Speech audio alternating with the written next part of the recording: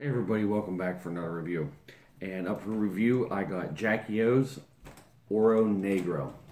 This is oil of Aphrodite infused with cocoa nibs, vanilla beans, oak staves, habanero peppers, and cinnamon sticks.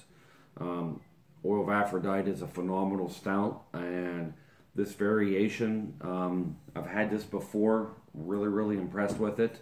Um, this just hit the market recently and this also has walnuts and conditioned on spices. Um, even 10%. Um, you know, Jackie O's, their barrel age program, I've said before, it's phenomenal. Um, they do make a barrel age version of this. I haven't had it yet, but I would really, really like to.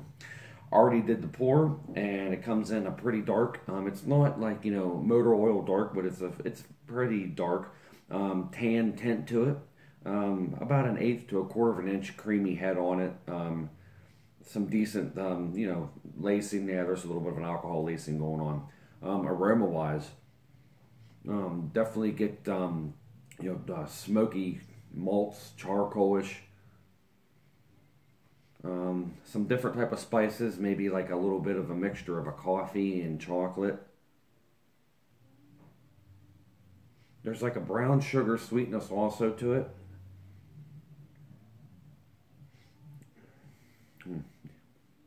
Smells um it smells like it's a very, very bold beer. Um, it's been a solid year since I've had this, so I really don't even remember what this tastes like. It's um yeah, smells good. Um, let's have a sip.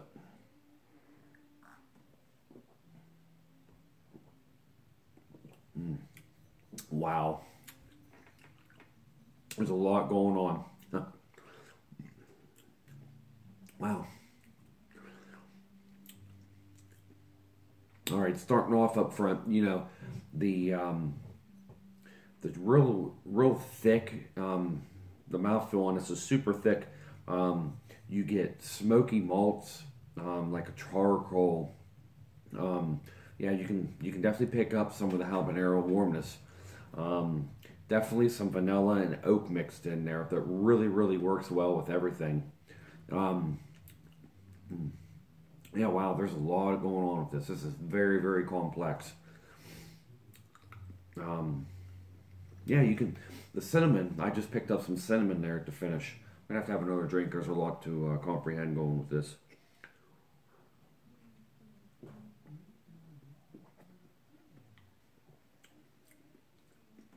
Yeah, wow. Real, real nice punch of cinnamon at the finish there. That was really nice. Um, the combination of the vanilla and the cinnamon leaves like almost like a, a maple syrup flavor, and I really do not believe that um, there was no no maple syrup added to this. Um, yeah, it starts off, um, you know, with, with, all the malts. Um, you get like a brown sugar mix with the cinnamon and vanilla and cocoa. Creates a real nice, not overly sweet, but um, a very noticeable um, a very bold, um, you know, sweetness. Um, works really well with the malts. Kind of, you know, sweetens up and um, works with the smokiness that the malts bring. Um, the pepper, the habanero is, you know, very very mild. This beer is not hot in the least bit. Um, uh, this is one of the more more masked alcohols. A lot of Jackie O's beers, especially fresh, the alcohol it's very very upfront, and a lot a lot of the beers I believe are overpowering. But um, this, you know, as being as fresh as this bottle is up front, the habanero just provides a little bit of heat, but the heat is very consistent all throughout the drink. Um, a huge cinnamon at the finish. Um, you know, much like a lot of like double IPAs and whatnot, like you get the pine and orange grapefruit that really coats the tongue and leaves the resin. Well, this leaves a ton of cinnamon. Um, very pleasant, very, very nice to drink.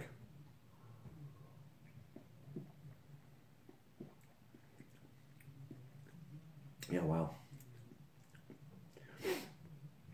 Um, there's just so much going on. Um, this is um, this is a very thick, heavy mouthfeel. Um, it's almost syrupy, like, and it really coats the mouth and tongue. Um, and for being uh, 10%, like I said, the alcohol is masked very, very well. Um, you just get a, a very slight amount of alcohol in the finish, but uh, mostly smoky malts, cinnamon, vanilla, oak.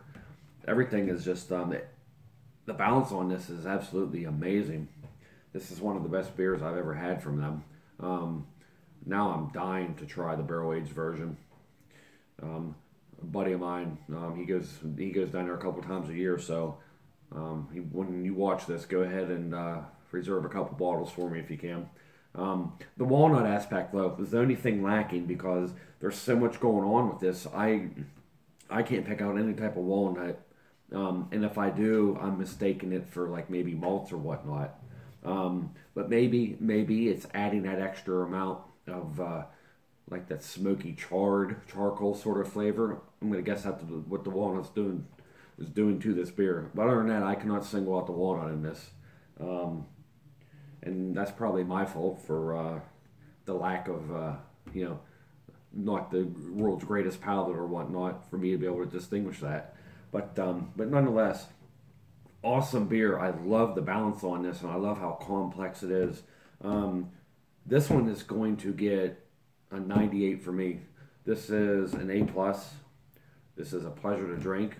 Absolutely awesome.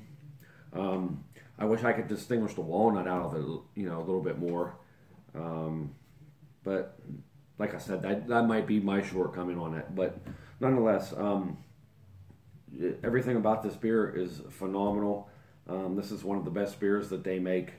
Uh, this is Jackie-O's Oro Negro, uh, 10% stout, and 98 for me, A plus beer.